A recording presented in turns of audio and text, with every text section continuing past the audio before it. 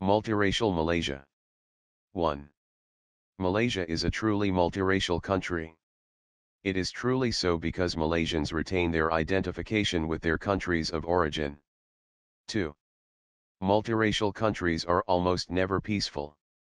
More so if the races follow different religions, speak different languages and adhere to different cultures as in Malaysia. 3. But contrary to general expectations, Malaysia is relatively peaceful and stable. It is accordingly more prosperous than can be expected of countries which gained independence recently. 4. The reason for Malaysia's peace and prosperity is because the people believe in sharing, sharing political power and economic wealth. 5. Unfortunately there are in this country people who wish to end this sharing concept. They see a possibility of dominating not just economic wealth but political power as well. 6. They dangle this bait before the Chinese in the 2013 elections.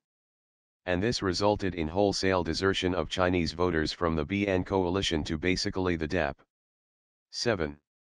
Fortunately the majority of Malays adhered to the sharing concept espoused by the BN. And so, despite this desertion the BN won, but won with a much thinner majority.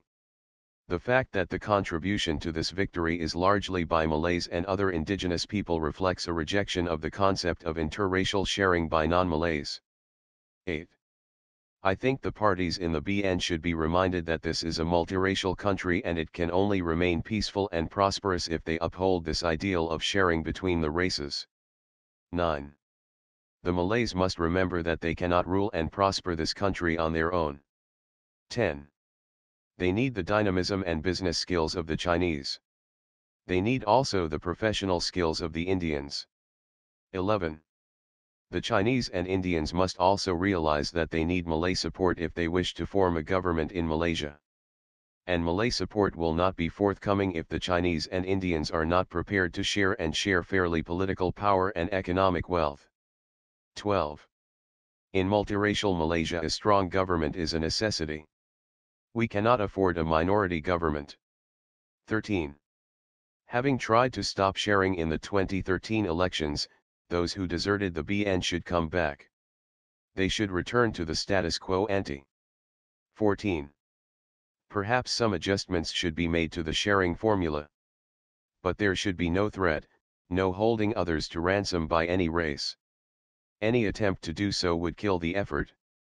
15.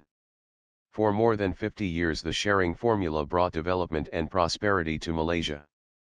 The whole world acknowledges this. The opposition will deny this of course but then the opposition needs to denounce all Malaysia's achievements since they wish to have one dominant race enjoying political power and economic wealth.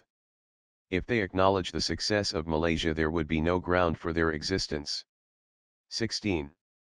But all others agreed that among the countries which gained independence after the war, Malaysia is the most peaceful, stable and prosperous.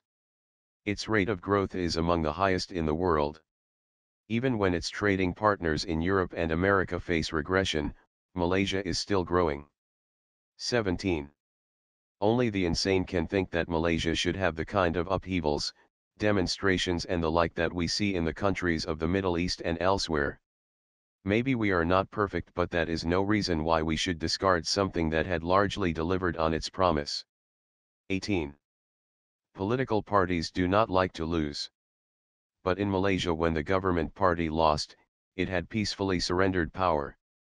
That this has not been seen at national level is the people's will. But at state level it has given up power in six states. I believe it will give up power at national level if the people so wish. 19. But the will of the people must be expressed through elections, not through demonstrations or other means. 20. But they say the BN government will cheat in elections. If it cheats it would not lose at state levels and it will not see opposition candidates win and take their places in parliament at national level. But it has never happened that the opposition fail to win at all as happened in countries in which the government cheats. We don't have the 99%er victories for the ruling party in Malaysia. 21-2014 will be a difficult year for Malaysia. We need stability in the country more than ever. the racially based component parties in the BN should return to the sharing principle that had won them support for more than half a century. This will ensure stability. And with stability we can face all challenges and continue to grow the country. Thanks.